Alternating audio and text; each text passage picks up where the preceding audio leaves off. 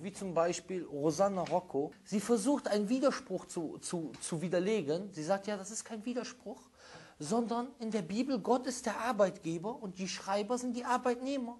Und die Schreiber haben sich eben vertan. Danke. Jetzt hast du zugegeben, dass, dass wir uns gar nicht mehr auf die Bibel verlassen können. Denn du hast gesagt, Gott ist der Arbeitgeber und die Schreiber machen vielleicht Fehler. Ja, vielleicht haben die Schreiber die ganze Bibel falsch geschrieben. Danke. Danke, Rosanna. Ja, was soll man dazu noch sagen? Das hat wahrscheinlich was mit Ehrlichkeit und Pragmatismus zu tun. Kein ehrlicher Christ kann verleugnen, dass es Widersprüche in der Bibel gibt. Es ist weit bekannt, dass es Apokryphen gibt, die zwar in der Zeit der Bibel geschrieben wurden, aber nicht in den Kanon aufgenommen wurden. Und man kann die Bibel tagelang deuten und kriegt trotzdem kein eindeutiges Ergebnis. Das heißt also zu sagen, dass es ein göttlich inspirierter Text, der allerdings Fehler hat, ist noch die ehrlichste Meinung, die man haben kann, wenn man unbedingt Gott im Bild behalten will.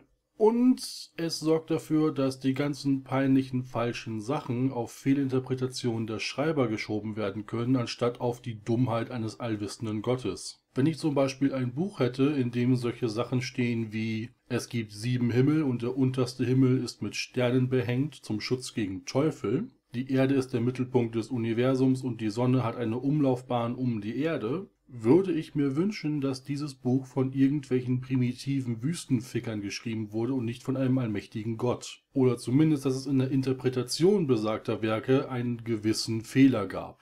Immerhin sind bei den meisten Büchern, über die wir hier reden, mindestens elf Jahre stille Post mit dabei.